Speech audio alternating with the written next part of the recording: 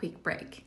I just want to say thank you for all the people around the world Jamaica, Germany, um, Asia, Europe, South America. Thank you for listening to Leap of Health. Thank you for the support. And remember, my book is out. You can find it on Barnes and Nobles and Amazon. It's called Parents Are Greatest Teachers. Thank you again for all the support. And now back to our episode. And this is your host, Alex Balgood, and this is Leap of Health. And today we have Arielle Martone. She's a doctor of physical therapy, a neuroclinical specialist, certified yoga teacher, and certified pre and post natal coach and trauma for moms. So I love the whole combination of this all these uh, different um, techniques to actually coach someone through these really hard moments. So thank you, Arielle, for being here. Uh, good morning. yes, good morning, Alex. Thanks for having me. It's great to be here. Thank you, thank you. And before we go into all this um, concept of pros, uh, prenatal and everything that you do, tell us a little bit about yourself and how you got to combine all these techniques to what you do now. Yeah, sure. So, um, I, so funny thing, right? Like, I feel I'm going to lead here with what I was doing first. And that's kind of what led me into um, what I do now, because part of what I found was once, you know, fast forward to where I am today, after having babies, I was struggling mm-hmm. with who I am. And I realized it's because I relied so heavily on all those labels of what I do and professionally. Um, and I think that in our society that that is very common that mm-hmm. we are mm-hmm. so so prone to those labels of you know what you do in fact you know in regards to who you are that we almost lose sight of like who we are because we're so much more than all of those labels um, mm-hmm. um, but with that said i'm going to go back to those labels now um, so yeah so i'm a physical therapist i've been a physical therapist for over a decade now love it um, love working with people. Um, I've worked in almost every area of physical therapy, every, um, you know, from home care to being in a hospital to rehab. Um, my longest stint was neuro rehab, which is how I um, ended up becoming a neuroclinical specialist. Um, absolutely love the work. Have always also then practiced yoga since high school. So I've been practicing yoga for decades now um, and became a teacher, um, I guess, about five or six years ago. I kind of took the plunge, it worked out with my schedule.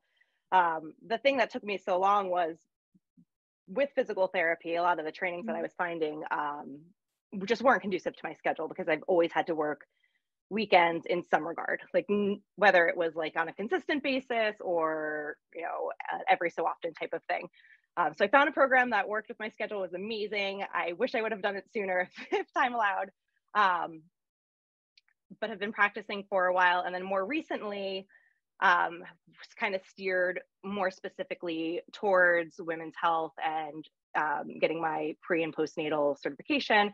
I do primarily at this time just work with um, postnatal or postpartum women as opposed to the you know pre-baby stuff. Um, but yeah, so that's a little bit about what I do. I am a wife and a mother, and I've struggled with infertility for four years before having my son.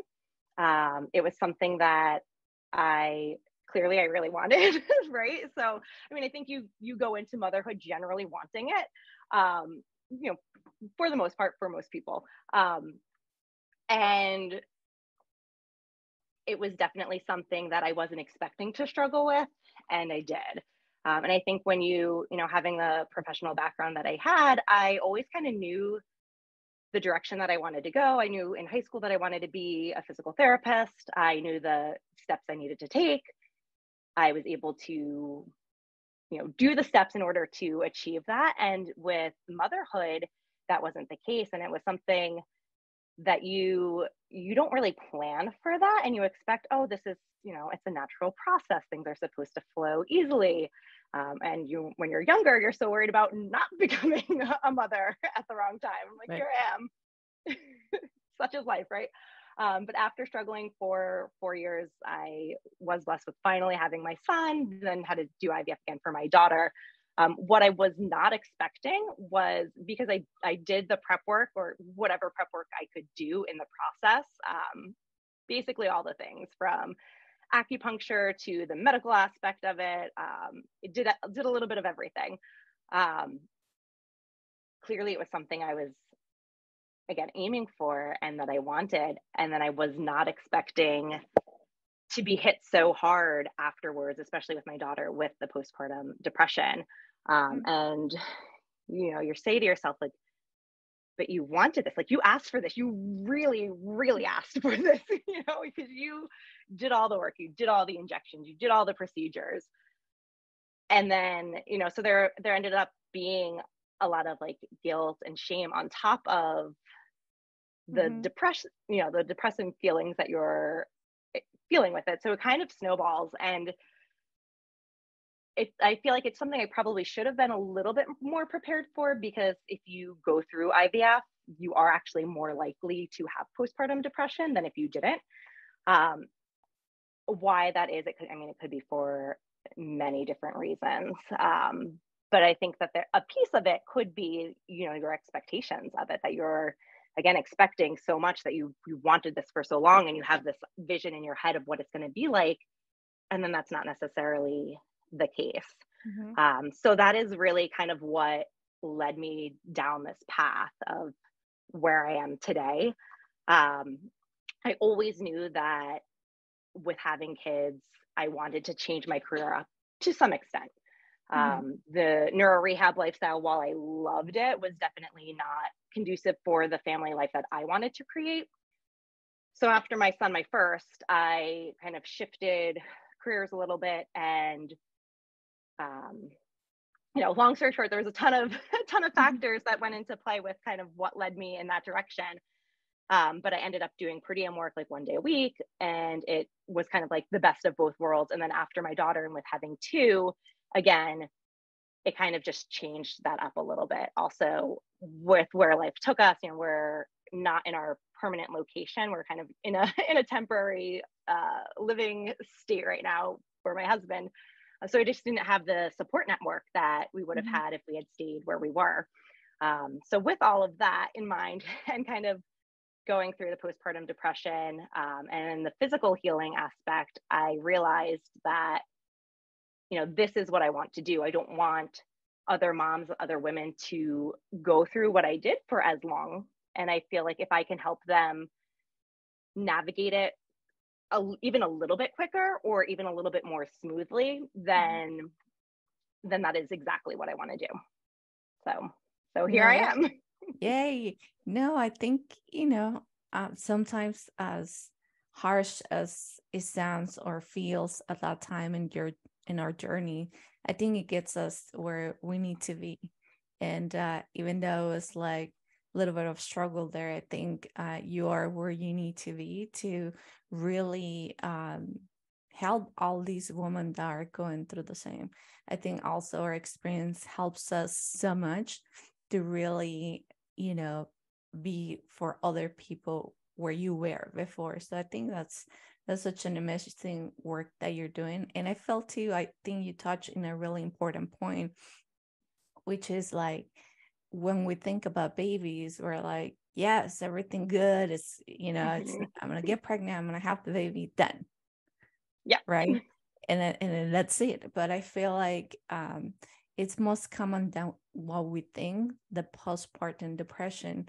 Uh, and even it could be for a little bit or it could be like a really big thing in some women so i think this is like a really uh, important topic to talk about what are some of the uh, things that you coach women through or or what's do you have like a, a protocol? Do you do you focus on the physical? Because there's a lot of parts in this right? There's the physical yeah. the mental and emotional everything.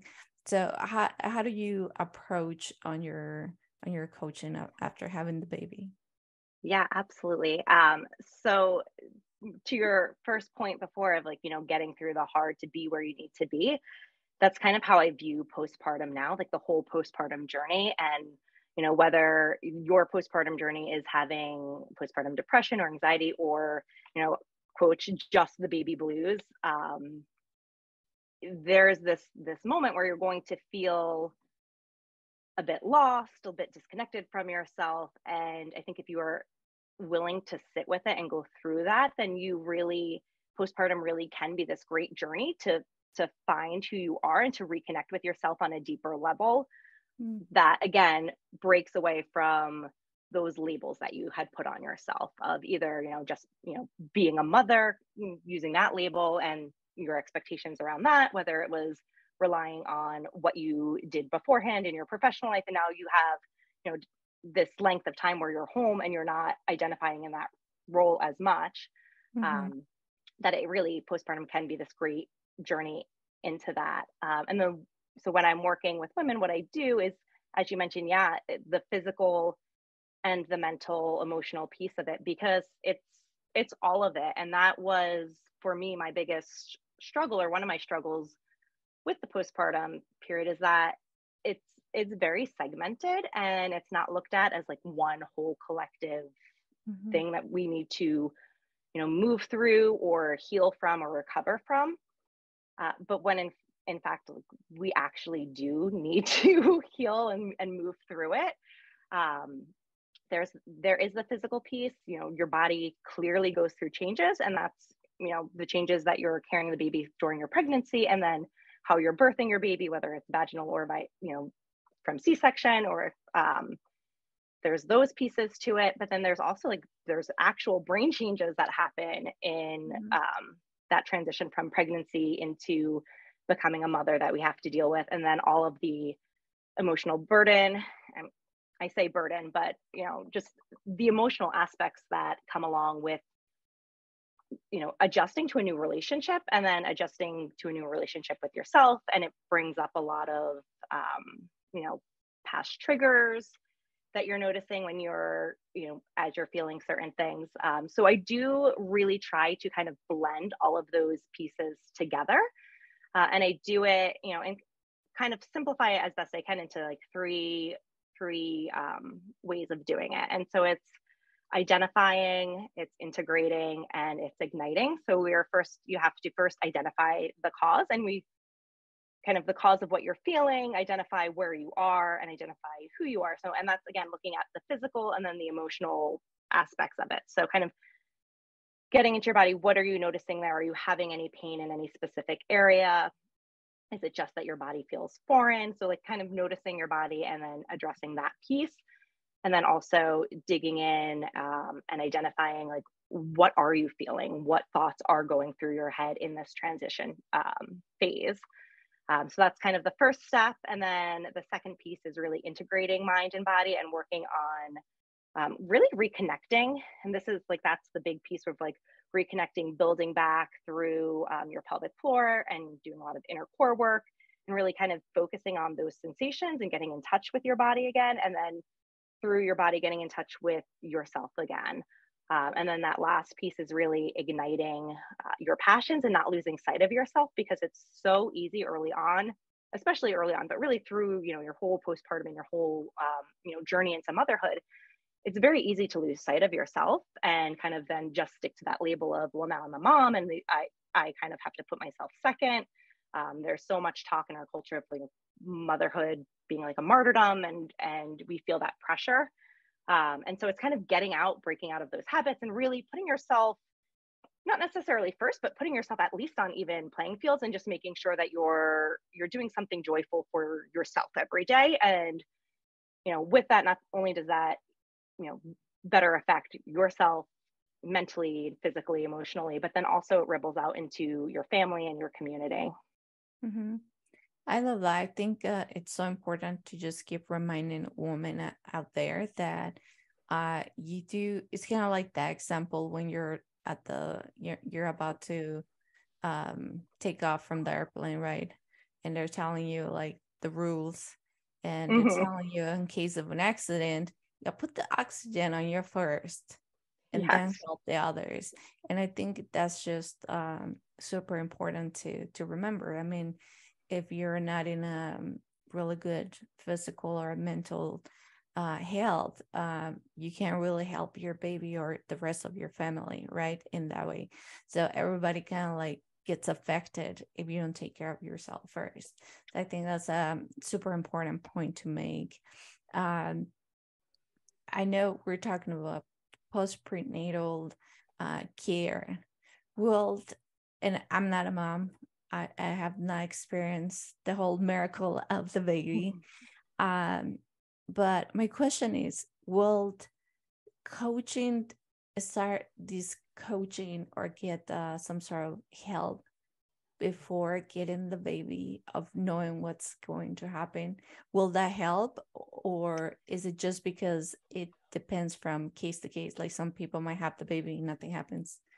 Or or what is it so so i think um again my work right now is more after baby, but I do think that there is a lot to be said for having support beforehand. And because I feel like a good amount of what you are, what comes up is kind of what your expectations are.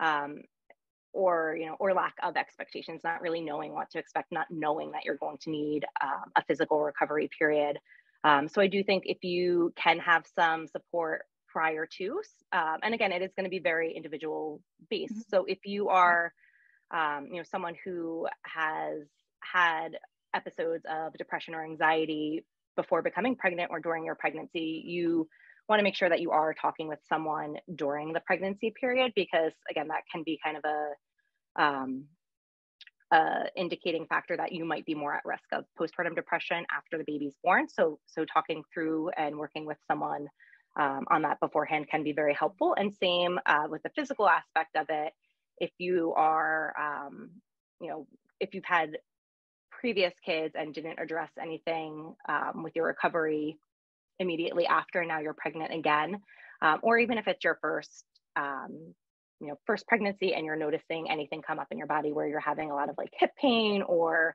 um, low back pain and you know significant discomfort there um, rather than brushing it off of like, oh, well, my body's changing. And this is just, you know, people say pregnancy is uncomfortable is actually going to um, like a women's health or a pelvic health specialist um, with, for physical therapy prior to and seeing if you can kind of address some of the issues beforehand.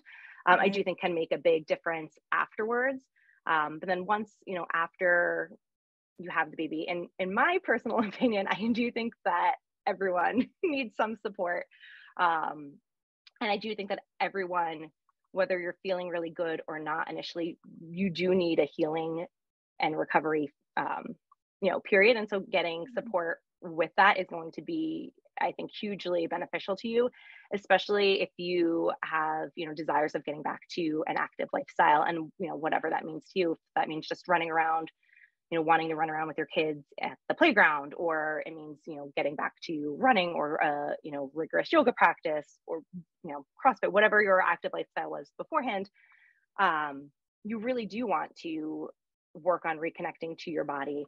Um, you wouldn't you know have a a sprain of your ankle and then go back to playing basketball and you know right away without having a recovery period where you're actually addressing the changes that happen and yet we go through these huge changes where our body you know our ligaments adjust because of the hormones. Um, so our you know our bones shift a little bit. Our muscles our length tension relationships become off and not what they're used to. And yes that's like in our pelvic area but it, it affects our whole body. Um, and so you really need to and this is you know if everything goes smoothly and there's not you know a cesarean section or tearing and then you have like this actual other you know incision area that you have to address um, so i do think that getting the support and the help afterwards is going to be hugely beneficial to mm-hmm. everyone uh, and again you know whether or not you're having a diagnosis of like postpartum depression or postpartum anxiety there it's still it's considered you know normal to go through a period of postpartum blues but what you know my question is always like what does that mean exactly? Like it's described as like the shorter the shorter phase in time. Um, but if it's disruptive to you and if you're not feeling good then why like you know reach out for support. Why just sit there and stay there you know? Yeah.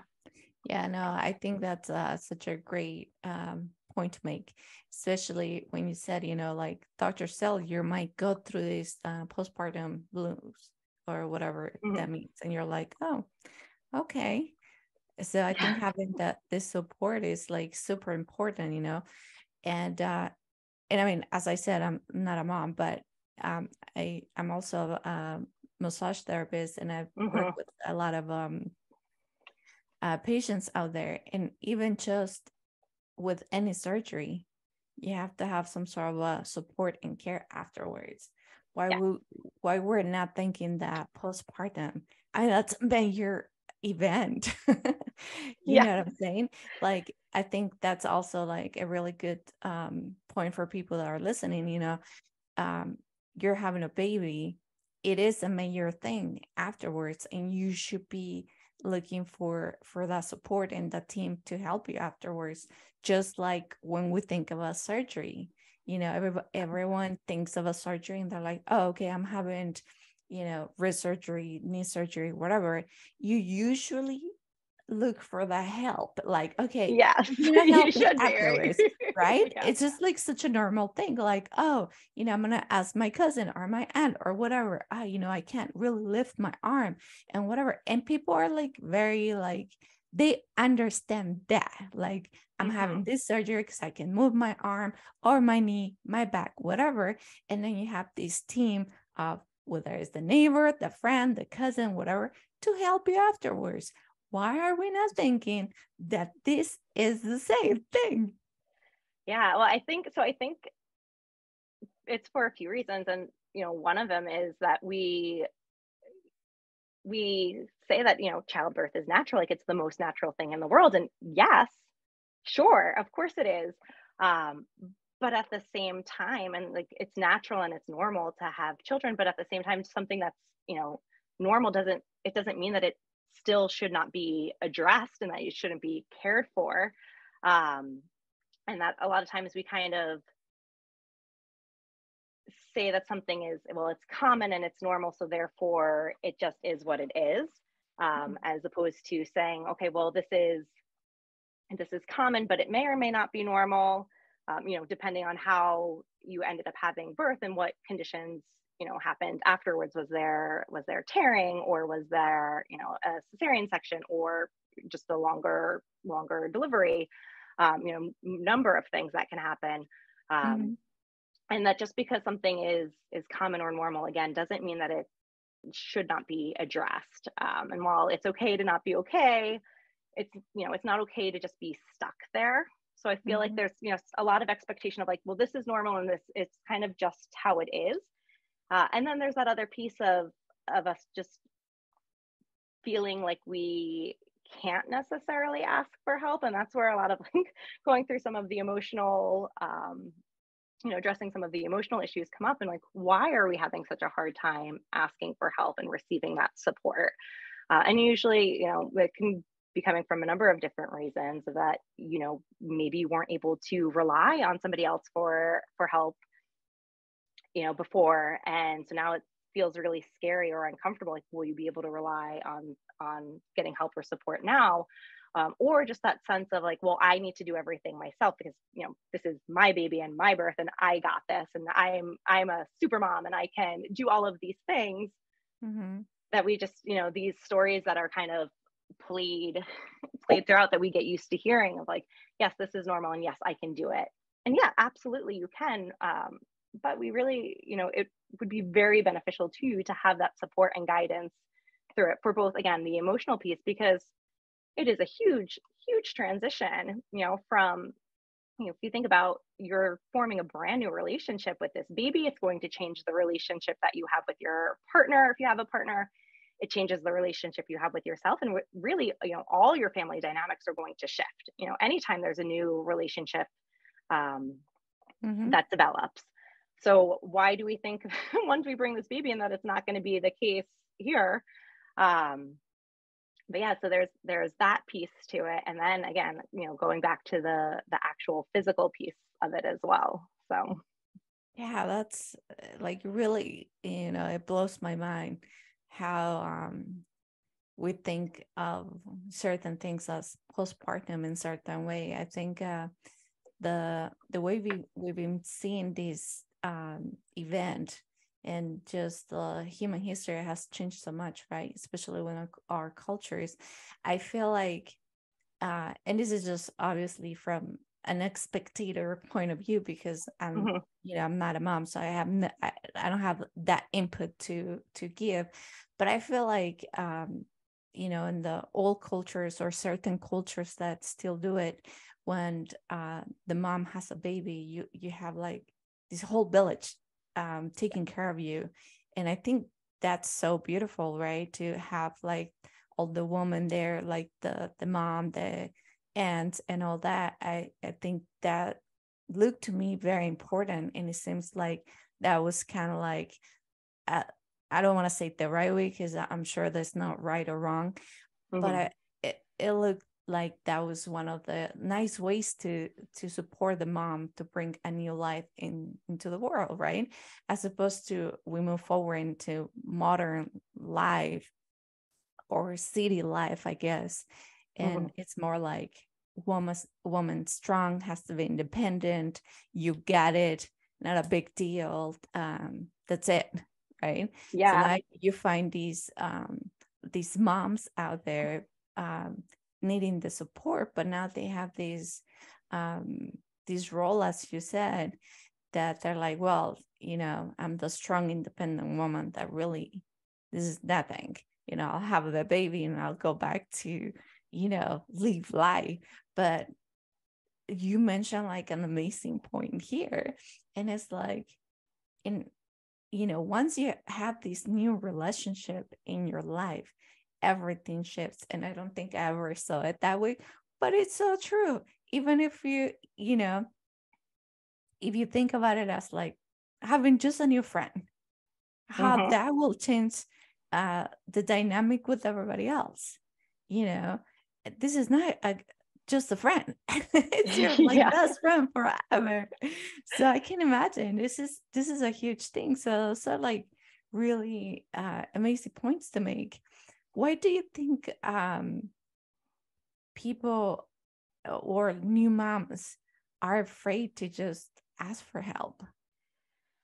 So, well, so I think I, probably a couple different reasons. I think, you know, you mentioned a really good point before um, of, you know, looking back and culturally um, and in different different areas of the world, how postpartum was something that was more honored, and now we kind of have to create our own villages nowadays because right. logistically a lot of people don't live next to their immediate family anymore and some, some do um, but so you have to kind of create your own village to a certain extent and and be mm-hmm. okay with asking for that help um, but yeah as you mentioned like we do have these roadblocks up to asking help and i think again some of it it's, it's expectations and it's also a little bit um, you know culturally the expectation of our, our bounce back culture and we can see that as like bouncing back into your physical body. You're supposed to just you know snap back right away. And the comments that people often make to new moms is if, if they are going to say anything it's always oh you look great. You don't even look like you had a baby or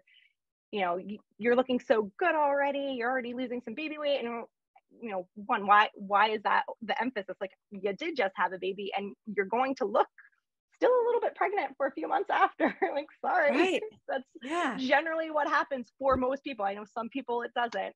Um, you know, they they are able to lose a little bit more weight more quickly.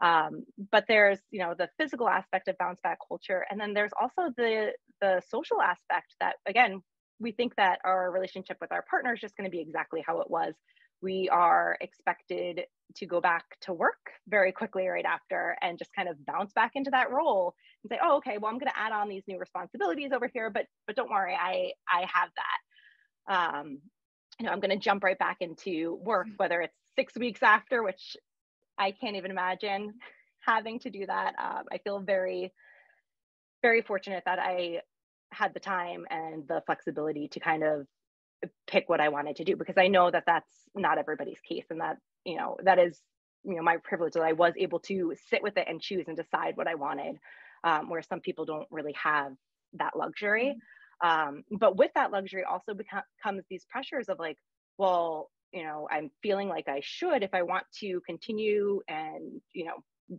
continue with my professional life and my you know feeling like i'm adding value and worth to society we look at that as okay well what are you producing and how are you you know contributing on your professional you know in your professional role. Well if you take a step back and you say like well even if i'm just taking this time now to really bond and create these good relationships with my baby and I and I'm taking a step back from that value that I'm adding you know you're still adding so much value to to our society by spending that time nurturing that baby um, and taking that extra time to create a really you know create that family life that you want. Um, so I, I think a lot of our our barriers uh, come up with you know the expectations that we have and and what we're hearing from society and the bounce back culture. And you know while i think there's always kind of like a good and a bad to everything right? And why while it's great to feel very empowered and that you can do a lot because you you can uh, it's you have to still look at where you are in your phase of life and knowing you know it's okay to step back sometimes. It's okay to have some rest periods. It's okay to not be always in that like go go go driven mode. And for me that was a hard lesson to learn because i was very you know what i would consider you know professionally motivated and very driven. And i i always had the goals and and you know was a kind of a go go go person. And then to just stop and be like okay well it's okay to to still have those aspirations and maybe like put them on hold or maybe you know in my case they've definitely shifted a little bit so but you're not going to know that unless you sit with it mm-hmm. and as you sit with that and as you start to learn to be okay and be really present and you know this is where a lot of you know the yoga pieces come in and like as you sit and learn with being present in the moment honoring where you are you'll start to become more eh, you know more open to accepting and asking for help more open to listening to what you really want more open to allowing your body to heal so that you can get back to doing whatever you wanted to do physically um, mm-hmm. you know by by pausing and and healing and allowing for rebuilding it doesn't mean that you're not going to get back to those goals, but it means you're going to get back to them in a way that's more authentic to yourself and that also is I'm healthier. You know, if mm-hmm. you push right through and you try to push into getting back into a um, you know, I'll give two examples. If you try to push back into getting back into your professional role right away, that can leave you with some resentment. You know, whether it's you're resenting coming back to your family life or whether you're resenting the role that you're taking on um, if it's mm-hmm. you know if you don't take that time to sit like is this actually what i want it can lead to that uh, and then the physical aspect if you try to push too far too soon um, or too much too soon you can end up with physical discomforts down the road or you know bladder leakage you know urinary incontinence pelvic pain um, and that again are things that we kind of normalize mm-hmm. and and we don't need to normalize them they're common yes but we need to again go back and address them yeah like it doesn't have to be bad you know like right. you could really prevent a lot of things uh having that support and and i almost feel as i said as an expectator over here yeah. that that is that's still that your perspective is huge is hugely valuable though because thank you. Yeah it is it is. It's it's what you're noticing and it's it's very true and you're you're spot on with a lot of it so. Oh thank you. But yeah i almost feel like we need to change that the culture when it comes to you know prenatal and postpartum care. I think uh is just it needs to change. Like really why are we trying to be this feminist powerful thing that we are for sure but we do need that support and help to be much better? You know at the end of the day it's it's for you it's for your mental health it's for your physical health it's for your baby and for all the relationships around you that are getting uh, shifted or right. slightly affected, if you want to put it in that way. And uh, you mentioned about moms that, uh, you know, first moms, but does this happen because maybe a mom had a baby you know firstborn was nothing you know because we hear that all the time mm-hmm. whether it's that it's true or not i mean as i said i'm i have no clue but you heard these things of like yeah i had my first baby nothing happened um it was all great. And you know and now they're pregnant again and they're having a baby. And things change. Could they yeah yeah, absolutely. So, I mean, and it can change because again, you're at, adding in again another relationship. So there's going to be all those dynamics are going to change. Uh, the relationship that you had with your first, and then the relationship, you know, now bringing in a second or a third or whichever. Um, but yeah, I mean, everyone's experience is different, and I think there are there are some people out there, probably less than we think, that have you know these seamless recovery times um, you know, both from a physical aspect and from an emotional level. Um, but I think as you layer, you know, another one on, you can, you know, just because just because your first experience was very, you know, smooth and easy does not mean that it's going to be the the same subsequently. And also, you know, in the flip, if you had a really hard time with your first, it doesn't necessarily mean that's going to be the case for you know the subsequent ones moving forward. Every it is on a different, you know, everyone is different. Um, but as you're adding on another, it it does play into it. You know, your body had already gone through it before, and it depends. Like, were you feeling good, and there was a little bit of an underlying issue of like maybe a little bit of pelvic tension that you just really weren't aware of, and now you know, and now it becomes more of a problem um, because it wasn't addressed previously, or just how you carried this time around is different how you deliver this you know every time is going to be different.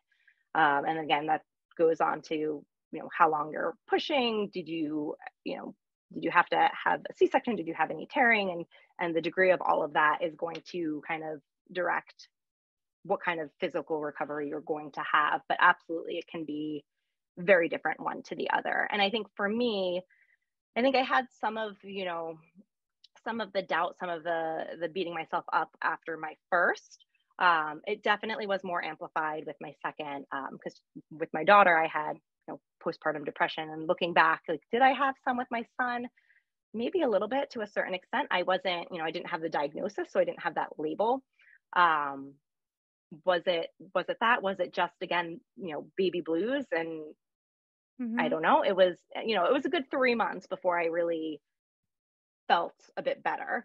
Uh, and again, it kind of goes back to that like what's normal, what's not, what's common versus normal, and you know, and what needs to be addressed. So you may feel like with the first because you don't know any better of like, well, they think this is, I think this is what it's supposed to be. And so when you are like in what you think it's, you know, how it's supposed to be, you don't necessarily think about addressing it because you're just like, well, this is I'm going to be sad for a while. I'm going to be overwhelmed. I'm going to be tired or exhausted. And, and this is just mm-hmm. expected. And so you're kind of like, this is just what I'm going to deal with. Um, and so it's when you kind of have more awareness to that and that you can address a lot of that. Mm-hmm. Um, and at least like be working through it um, can be very helpful. But yes, to your point, it can be very different from one to the next. Yeah.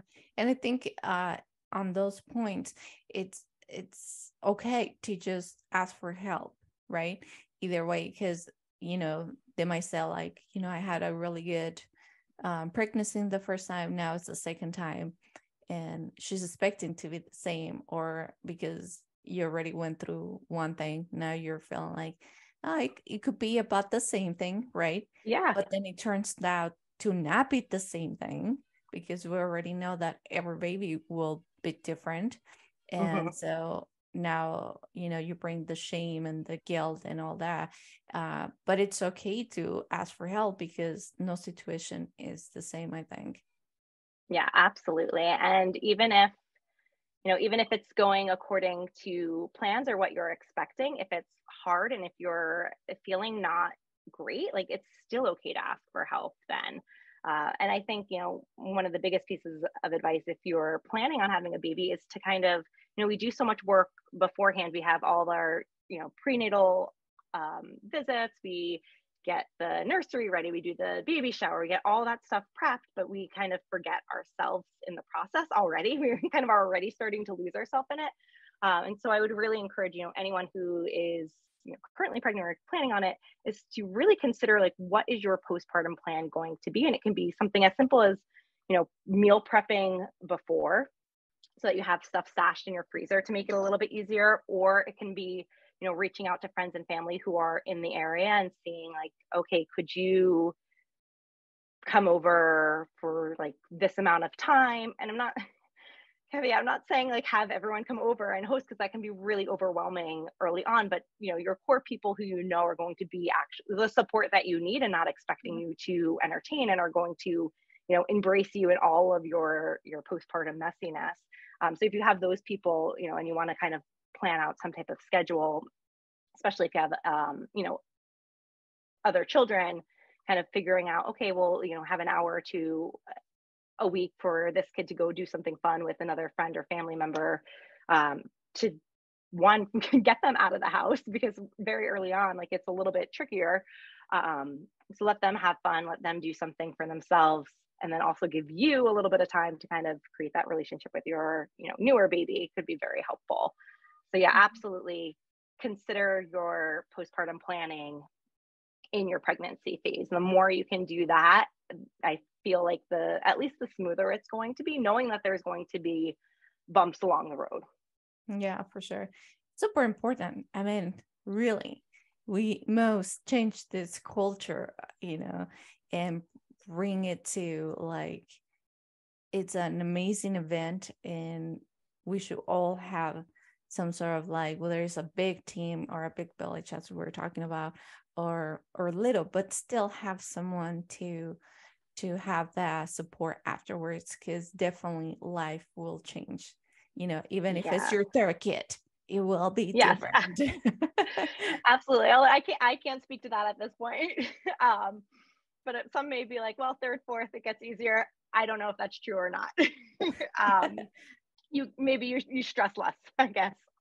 Um but no absolutely. And i think to your point you know to start shifting a culture and to start kind of you know learning to honor that postpartum phase and journey more like it starts you have to start with yourself at home first in the ways that you can and then from there kind of you know ripple out into your community and further out um, but mm-hmm. if you can start with yourself and get yourself the support that you need and learn to like kind of sit with where you're at i think is going to be you know hugely helpful for you uh, and then also you know to the point of of getting support earlier on, um, it can also kind of help catch, you know, issues. So if you are working with someone you have, you know, a postpartum care team, postpartum coach, um, or support that way, you can either, you know, kind of mitigate some of the the fallout, um, or you can, you know, if something does arise, you can catch it earlier. Um, you know, you can catch symptoms of depression earlier to kind of then say, okay, well now, you know, what we're doing here is working really well. You know, you're you're making progress, we're moving in a really good direction, but I'm noticing a lot of, you know, whatever it is still here, like maybe you should, you know, go talk with somebody else, speak with with your um, doctor about additional support, because again, a lot of times with with normalizing things and normalizing like the baby blues and saying how common it is the lines can get blurry and especially if you don't know and when when you're in it it can be really hard to see for yourself that oh okay yes i am experiencing you know more anxiety or more depression and having that that support team there to to kind of guide you through to that next level of care that you might need um, can be really helpful because you you don't want it to fall through the cracks you don't want to have it your care delayed mm-hmm. no and that's such a great uh, thing to mention too, because you know, you even just with the physical part of it, if you mm-hmm. are experiencing some sort of uh, hip pain and things like that before you having the baby, you know, let's you know, as we said, let's not normalize. Let's try to see what is it. Try to maybe yeah, uh, kind of like fix that before you have the baby, and then now you have a a better result uh, when you're having the baby as opposed to normalize these symptoms or like oh it's okay i'm just pregnant and everything is supposed to hurt and whatever and so yeah. then you have the baby and now it's worse now you have a bad hip or your pelvic floor is like way worse than what it was supposed to be so i think um, having in mind those those things um, will definitely help uh, or i think it'll help uh, the moms to be absolutely i mean you know if look at someone who is going to get their knee replaced a lot of times they have a a pre-surgery um, protocol or, or exercises that they want them to do because you want to get everything kind of in in the best condition possible mm-hmm. to yep. prepare for the event that's going to happen and then knowing that there's going to be a recovery phase afterwards so the same thing um, if you you know again of course like caveat talk to your talk to your doctor first make sure you're cleared for exercise um, but generally speaking if you were active before becoming pregnant you can for the most part continue that um, throughout your pregnancy um, if you weren't before it's a good idea to start to do some activity again with you know speaking with your doctor making sure you're cleared and okay to do that um, mm-hmm. but to prepare to keep your body strong and to you know strengthen what needs to be strengthened to help relax what needs to be relaxed and working through all of that beforehand can have a you know big impact but again knowing that afterwards as your body readjusts to everything and as your hormones continue to shift and then just the the trauma of the birth no matter you know no matter how you're birthing your baby there's going to be some trauma there normal or not right? Um, it's a traumatic event so there is going to be a recovery phase that needs to happen as well. Yeah for sure. And uh, it brings me to think about also i know you know we're talking about the mom and it's the postpartum um, side of it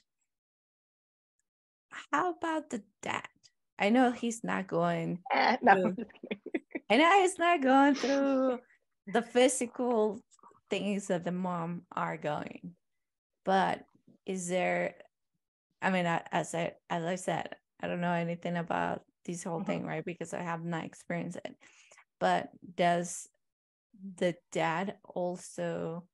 Um, is it helpful for the dad or the partner to have this some sort of like coaching and preparedness to you know receive this kid?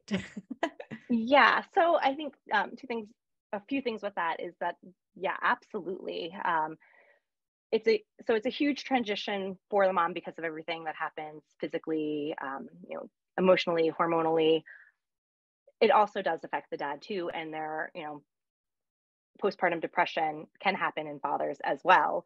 Um, the you know the rate is not nearly as as high but it is something that can happen and they are also adjusting to a new role and a new relationship. And also again speaking to you know the relationship changing is that the relationship that you guys have together has changed you know and i think that a lot of times they're not prepared for that. So i do think you know again it's going to be kind of an individual case by case basis i don't generally work with the fathers, but it can be helpful to, especially if they're noticing any signs of, you know, depression or anxiety that are coming up with it, that they also seek help. And whether that's in a joint mm-hmm. situation where, you know, you guys are going to kind of like a, a partner counseling, or if they're, you guys are each doing it on your own. Um, but I think one of the things that can be very helpful is is just really keeping that communication open and knowing that that your relationship is going to change uh, and being having that communication really be open and talking through what each person is experiencing individually and then how it's affecting each other.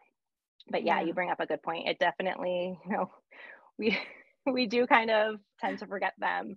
And early on when you're you know when you're going through your own postpartum recovery i know for me personally i had you know depression and also some rage and it. A lot of it was taken out on my my husband because when he he was there right? Um but the last thing that you're going to be thinking of is how it's affecting them as well because you're clearly and rightly so kind of focused on yourself.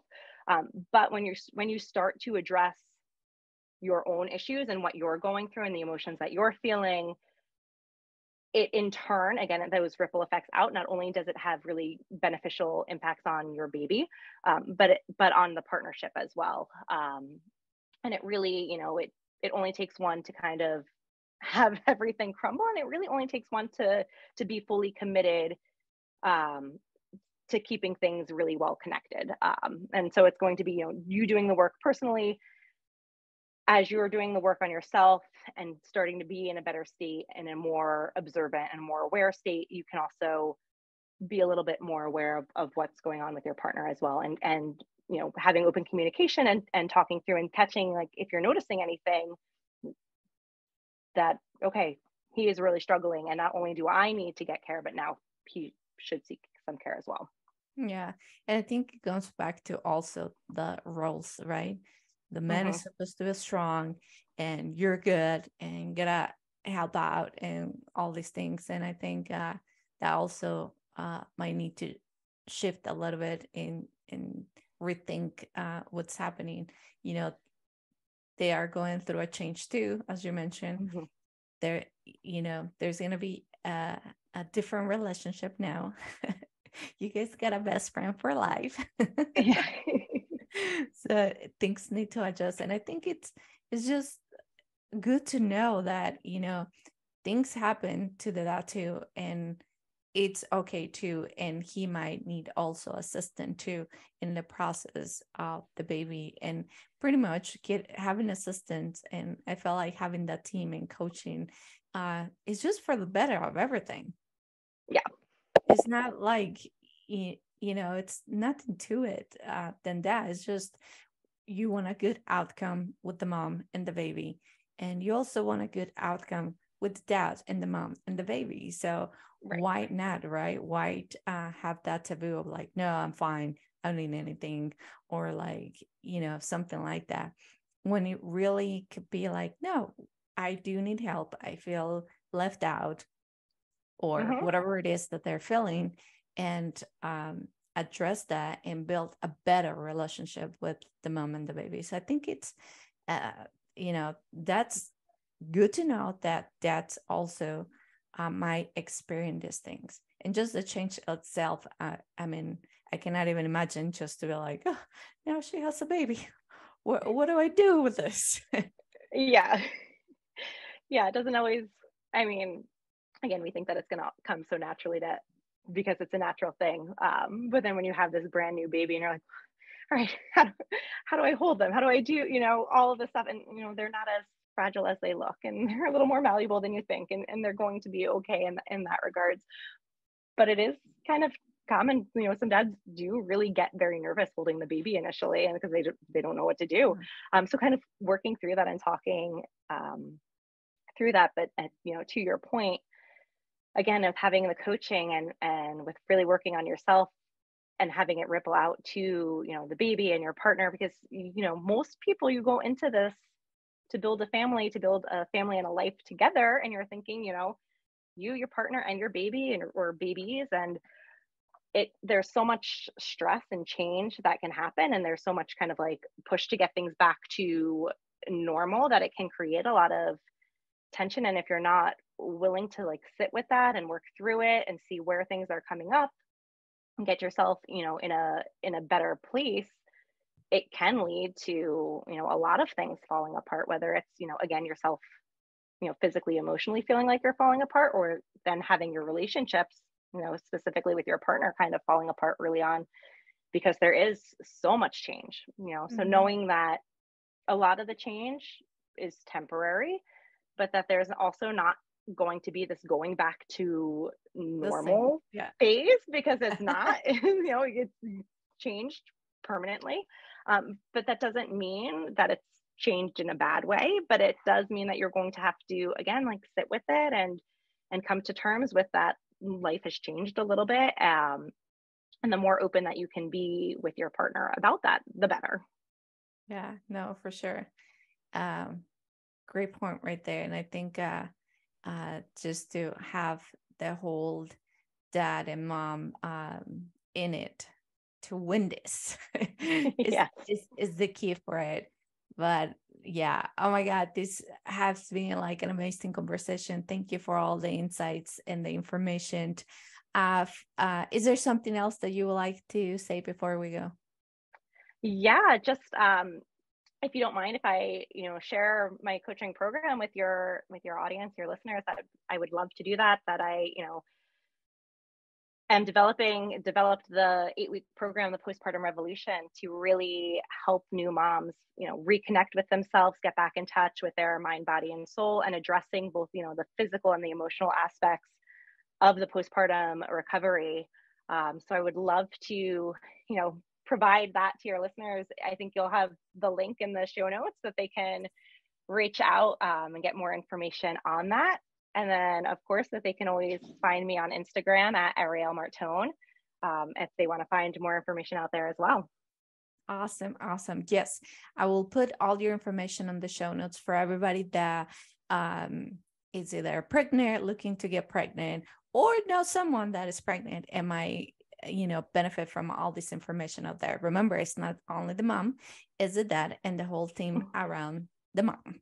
So thank yeah. you, thank you for all the information.